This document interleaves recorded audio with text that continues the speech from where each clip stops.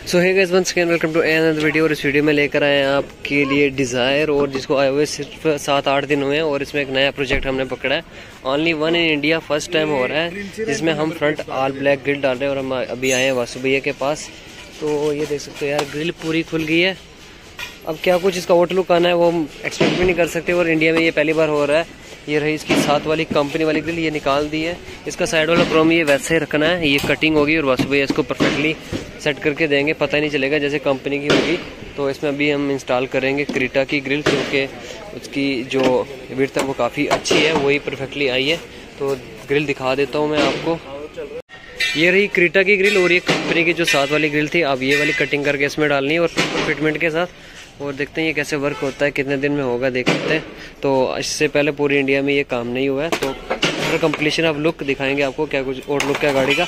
फिर करेंगे इस ब्लॉग का एंड सो गैस तीन दिन की मेहनत के बाद ये चीज़ बन चुकी है क्रीटा 2020 की ग्रिल है और हमने इंस्टॉल की है स्विफ्ट डिज़ायर जो लेटेस्ट वाली भी आ रही है। क्रोम जो हमने रखा है, वो कंपनी का साथ वाला ही रखा है और जो बीच में हमने कटिंग करके ग्रिल रिप्लेस की अब इसको जो ये जो थोड़े थोड़े कार्नर एडजस्ट किए थे हमने कटिंग हुई थी जहाँ से तो वो प्रॉपर फिनिशिंग के लिए हम यहाँ पे इनको फिनिशिंग कराएँगे, फिर पेंट कराएँगे और ऑल ओवर लुक फिर क्या रहेगा वो भी बताएँगे। और ये फ़र्स्ट टाइम इंडिया हो रहा है डिज़ायर में क्रेटर ट्वेंटी की ग्रिल तो बस आप चेक कर सकते हो, पूरी जो फाइनल लुक है, गाड़ी की हमारे पास कंप्लीट हो चुकी है और ये देख सकते हो, बिल्कुल ज़ीरो फिटमेंट के साथ ये रहा इसका क्रीटा 2020 का जो अंदर वाला पोर्शन था ग्रिल का वो। और ये रही क्रोम जो कंपनी की थी। हमने कंपनी की फिटिंग को बिल्कुल भी छेड़ा नहीं है, ना ही कटिंग की है। सिर्फ़ कटिंग की है तो अंदर वाले पोर्शन को और उसी की जगह जो नई ग्रिल डाली है अभी इसको पेंट होके आया है।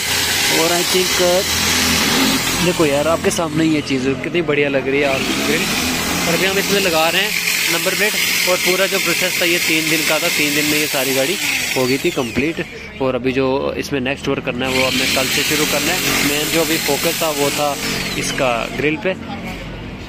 तो देख सकते हो यार, ये कैसे फाइनल लुक इसकी हो चुकी है कंप्लीट तो इसी के साथ करते हैं का एंड तब तक के लिए टेक केयर स्टे ब्लेस